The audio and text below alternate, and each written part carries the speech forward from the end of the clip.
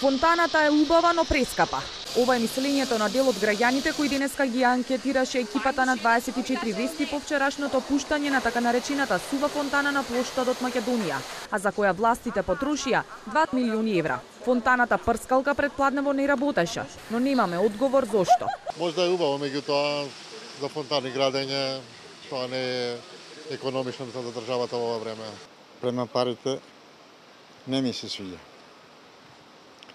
А убаво е направен. И за око, и за све, ама многу пари отидаа.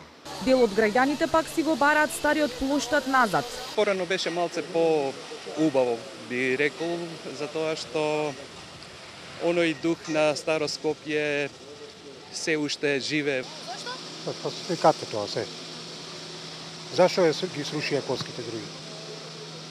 По вчерашното пуштање на новата фонтана повторно е отворен Скопскиот плоштад. И покрај тоа што тарабите се отстранети, споменикот на цар Самил се уште е на старото место.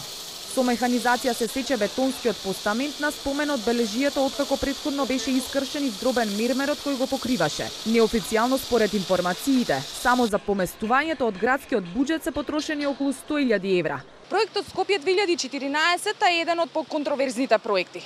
За него досега се потрошени пола милиарда евра. Оно што останува како неизреализирано е панорамското тркало и шпанските скали.